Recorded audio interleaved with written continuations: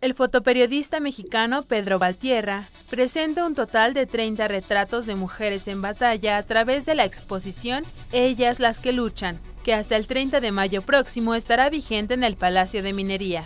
Son 30 eh, fotografías eh, de mujeres, casi todas guerrilleras, eh, hay algunas, dos, tres que no tienen que no están en movimiento armado, pero que forman parte, digamos, de esta lucha social. ¿no? Son 30 imágenes eh, desde Nicaragua en 79, en 84 en Nicaragua y también imágenes de la República Árabe Saharaui, de Guatemala, una gran cantidad son de Guatemala y de México, de Chiapas. ¿no? Son mujeres, como dice el título, las que luchan, que están luchando en movimientos armados, ¿no? En distintos, eh, en distintos frentes, ¿no? Y yo pues he tenido ahí la fortuna de, ahora que estoy revisando mi archivo, que es un archivo muy grande de 350 mil fotografías, que yo afortunadamente me quedé, recuperé de los periódicos donde trabajé, cosa que no hacen los demás fotógrafos, y este, pues esas fotografías están ahí, este, están guardadas. El registro de las imágenes fue realizado durante la cobertura que hizo de distintos movimientos armados en México y Centroamérica entre 1979 y 1998.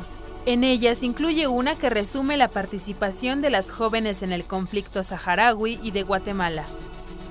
Lo viví muy intensamente, ¿no?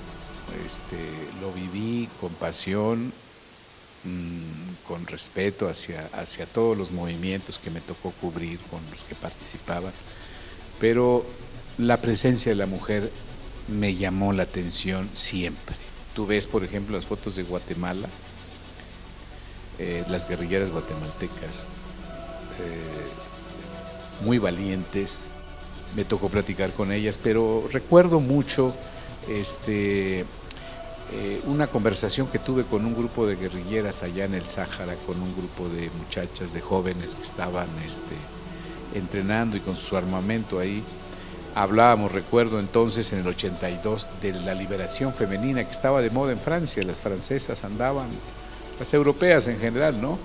En una lucha por, por la reivindicación de sus derechos y todas estas cosas.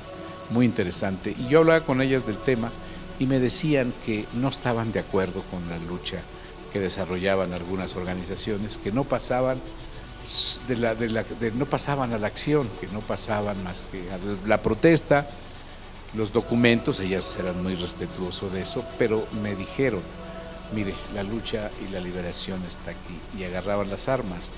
Valtierra, que ha trabajado para los diarios Uno más Uno, El Sol de México, La Jornada y Claroscuro, participa con su exposición como parte de las actividades de igualdad de género que realiza la Facultad de Ingeniería de la UNAM.